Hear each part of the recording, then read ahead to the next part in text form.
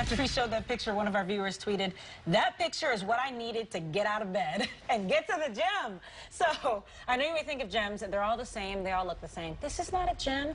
Like Jen Fred said, it's more like a resort. It has got everything for the parents, for the kids. It's got all the services, and it's got the fun. All right, Jen. Yeah, they're saying it's an athletic resort, and I have to say it is. Lauren's here. Good morning. Good morning. Okay, so I said I need to see a list of these classes. Obviously, you guys have basketball. Yep. I'm looking down here: cheerleading, Spanish immersion, sports skills, um, eh, martial arts. You have all kinds of stuff because you want to keep all the kids active. Yep, exactly. All under one roof. Parents can get their workout in, and we'll take care of the kids. Obviously, these are the bigger kids, but I know that you start with services for kids as young as three months old. Right.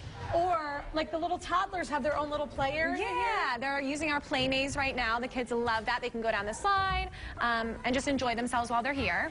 And again, so this is for like three-year-olds to 12-year-olds. Mm-hmm. Do you have to have a mom here, or can you check them into this zone when you're working out? You check them into the zone. We'll take care of them. You just have to be in the facility while they're in our care. Okay. Um, we talked about this a little bit about 20 seconds ago. So, like, there's an app for this place where mom can book her, like, spinning class. Hi, Julian! um, whatever class she wants to do, and then the app will then populate what type of, like, Spanish immersion, Zumba, karate, whatever, Yeah. arts and... So it, like, knows what it's doing. Yeah, we try to plan your schedule for you. Uh, you love You that? do? We love it too. um, you said that the tumbling is one of the most popular. You guys have it set up sort of like an obstacle Yeah, course. we do today. Um, this is one of our guru-led classes. We call them gurus because they really are experts in their field.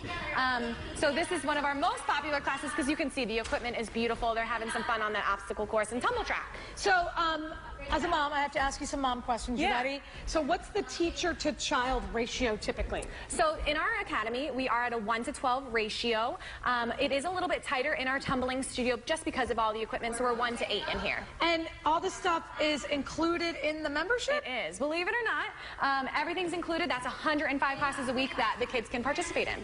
And they're drop-in. Yep. No registration is required. We'll ask for their most favorite class, um, and we'll give them a wristband with their priority choice. Oh, okay. And then there, you guys do do summer camp. We but you have to do it for the whole week.